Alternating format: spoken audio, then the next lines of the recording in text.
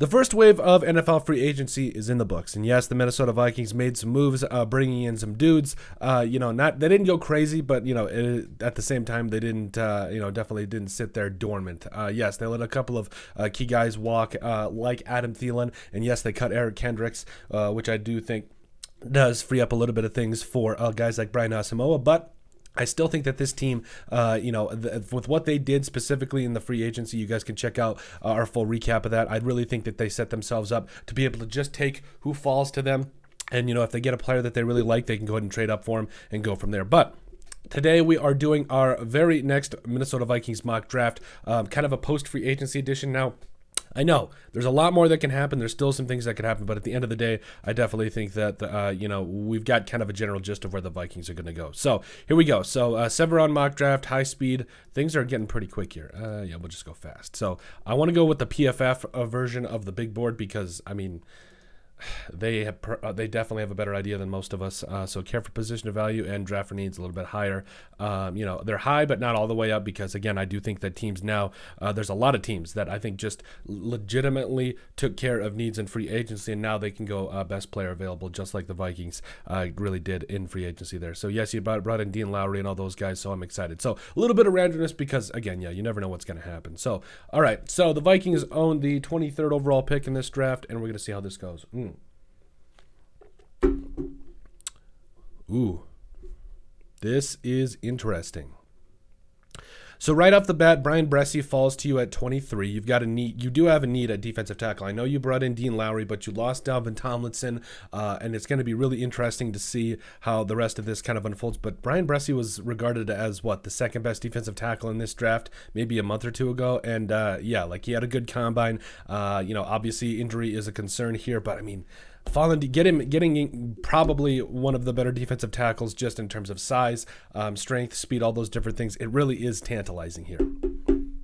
Do you pass up on that? Do you just see what you can get?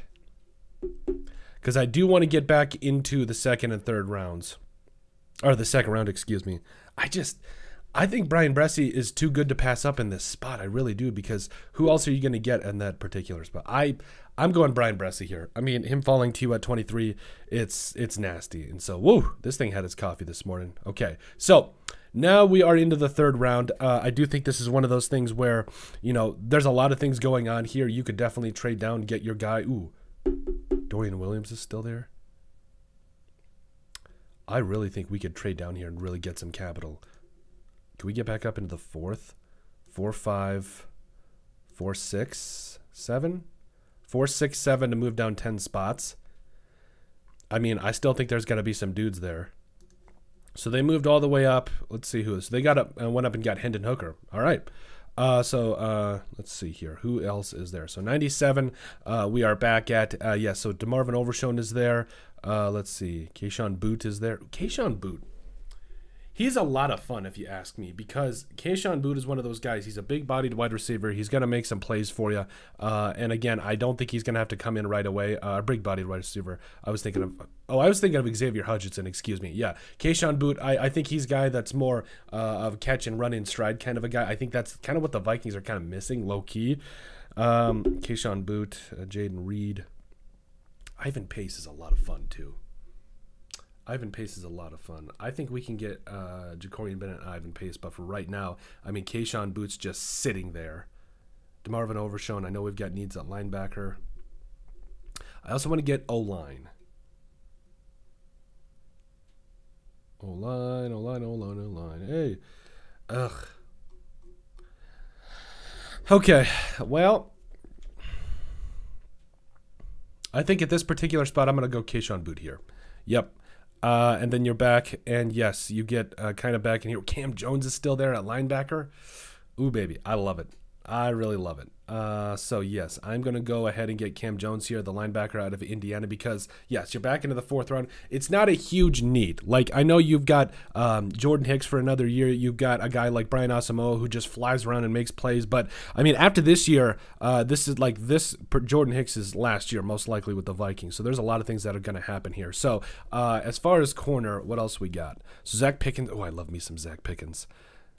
Kyu Blu Kelly. I like me some Kyu Blu Kelly though. I really do. I really think we need to go and get some more uh, more help. I, I really want to get some help along the offensive line because I don't want Ed Ingram not going into training camp without any competition. Uh, but Andrew Voorhees tore his ACL. That's going to be kind of interesting. Um, and really, after the second round, there is definitely a fall off. So if the Vikings want to trade down from 23, I definitely think that is going to be their best bet. But for right now, Kyu Blu Kelly. I like me some Kyu Blu Kelly. One of those. He's got good size. I don't think he's a reach here. Yeah, you go Kyu Blu Kelly. Cool. All right. Now we're down into the fifth round here. So Juice Scruggs is there. Oh, Jake Haener is there. Do we do we just take a flyer on Jake Haener? Because I know that, you know, Kirk Cousins is going to be whatever. But Jake Haener's sitting there, uh, small school guy. You know, you could really do a lot of good things with him. You could at least just see what you got. I really like the idea here. Henry, Henry To'oTo'o's there. Stetson Bennett. I like Jake Haener getting him here. I really do. Again, I know Kirk Cousins, uh, his contract is really up in the air. There's a lot of things that are going to happen here that could be very interesting, but overall, yeah. All right, Mohamed Ibrahim is there. Cameron Latu is there. Warren McClendon. Caleb Chandler's there. Hmm. Chris Rodriguez out of Kentucky. Let's see. Yeah, I really feel like the Vikings. Uh, you know, I, I I like how this draft ended up. Now that we're going through it, but I really think they're gonna have to trade down, trade down in the first round to be able to get some of their guys that they want. So yeah, Caleb Chandler here. Uh, again, I guard is definitely a need here, uh, and just want to see where uh, we can get some of these guys. So McClendon Curtis. Um, you know, they they kept Oli Udoh, so I don't think that they're going to really double down on uh, tackle here. Let's see, linebacker's good. Do we want to go edge? Who's there at edge, by the way? Baltonado's there. I really just want to see, like, well, no, they. I think they're going to keep. Actually, now that I think about it, they're probably going to keep uh, Za'Darius Smith, uh, and yes, they've got Danielle Hunter, um, and so let's see. Hmm. This is tough because see. Garage. Tackle, tackle, corner. Cameron Mitchell's still there. I don't really want to double down on corner. I've kind of already. Oh, Brandon Hill. Oh, yeah. Okay. Brandon Hill out of uh, Pitt. Uh, again, I really feel like you've got a guy like uh, Josh Metellus that I believe he's in his last year of his rookie contract, if I'm not mistaken, or he's getting there. So you're going to want uh, another piece there definitely to help out uh, in the depth side of things. Uh, and so then finally, ending this whole shindig. Um, do we want to go after a kicker just to bring in some competition? You know what? I'm going to do it. I'm going to bring in a kicker for some competition for Greg Joseph. Jake Moody. Yeah. Bring in Jake Moody. What's up? Jake Moody uh, to go in competition with a guy uh, like Greg Joseph who had, who struggled with extra points last year. Like, let's be real. Would he miss like six of them? Yeah, we need to bring in some competition. So here we go.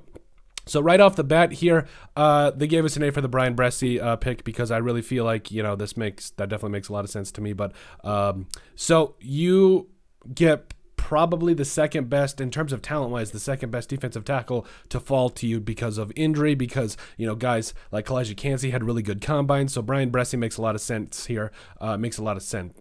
Sent, sent, sense. What's wrong with me today? Uh, so Kayshon Boutte there in the third round. Listen, I know wide receiver is not a need because you know you really do have some guys later on that like Jalen Nailor that you're really excited about. I know uh, you're also really excited about, uh, you know, what what you've really got out of guys, um, you know, like uh, KJ Osborn last year too. So I mean. I think that Kayshon Boutte could be a lot of fun in this offense uh, and be that guy that you know really does do some different things. So uh, I think you've got you know between those four, I think you're definitely like where your wide receiver room is looking at.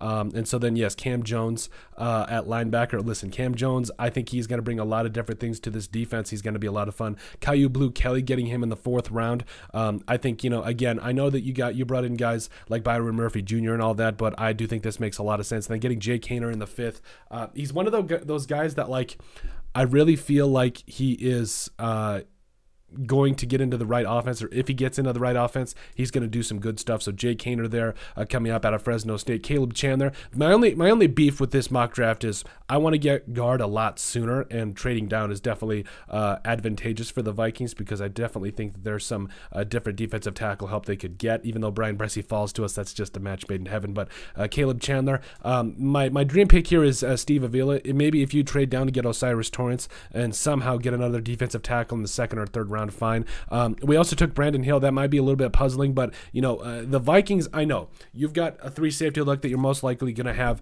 uh, with Harrison Smith, who yes did take a pay cut, but this could probably be the last year that Harrison Smith is with the Vikings. Yes, I know you drafted Lewis Cine last year, but broke his leg. We're going to see how he heals and comes back. But then also, uh, you know, I mean, you got to look at what you got with Cam Bynum. I know there was a lot of times last year he looked a little lost, but I do think in a new defense uh, with a new scheme, he's going to do a lot better. Um, but overall, I think bringing in a guy like Brandon Hill, uh, you know, to really be a backup because Josh Metellus is, I believe, in his last year of his rookie contract, and so he's going to be a player that you know after this year is probably going to be gone. So Brandon Hill, uh, you know, is going to be a guy that might play some special teams, uh, might be a guy that you want to take a look out for. So uh, then finally Jake Moody uh, in the seventh round because Greg Joseph needs competition. I'm sorry, like I know he just signed a fully guaranteed contract. I think it's fully guaranteed, or pretty close to like two million dollars, but I don't care. Jake Moody needs to come in uh, and needs to bring some competition uh, Greg Joseph. Uh, but that's it. That is our um, next, our latest Minnesota Vikings mock draft after free agency, or at least the first week. Let us know what you guys think, and make sure you guys like and subscribe down below. Leave a like